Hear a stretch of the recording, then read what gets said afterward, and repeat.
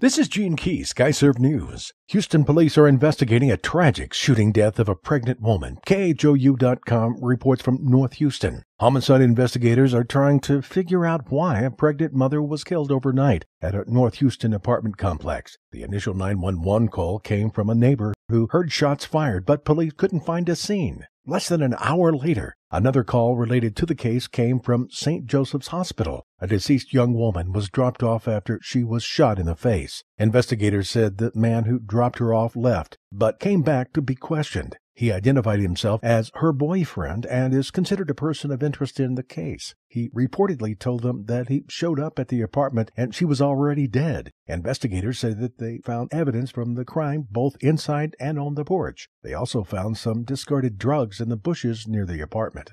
A driver is killed by his rear passenger in Oak Cliff. WFAA.com reports from Dallas. A 41 year old man has been arrested in connection to a March 20th deadly shooting in Oak Cliff. Police say Royal Robinson shot J.L. Armington, 38, several times from inside the same car while Armington was driving. Robinson is the ex husband of Armington's girlfriend. The vehicle Armington was driving was involved in a crash. A struggle ensued between the two men. Shots hit Armington in the chest and right thigh. Armington was taken to Baylor Hospital where he later died. Robinson has been charged with murder and jailed on $500,000 bond.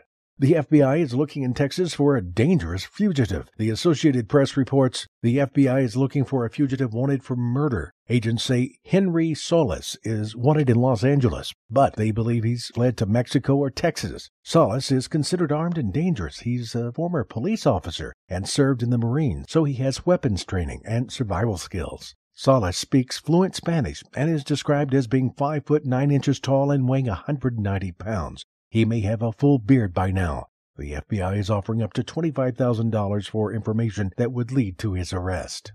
Texas lawmakers proposed a bill to limit the stand your ground gun law. The Associated Press reports from Houston. A proposal by Houston Democrat Representative Garnet Coleman to restrict when Texans are allowed to use deadly force in self defense is pending in committee and faces a murky future. It seeks to limit Texas stand your ground law to authorize using deadly force only if a person is in danger and can't safely retreat unless they are at home. Current Texas law is similar to Florida's well known statute and says people can use deadly force in most self defense cases without a duty to retreat. Coleman's proposal seeks to compel the potential victim to try and retreat, but makes an exception for people at home. This is Gene Key, SkyServe News.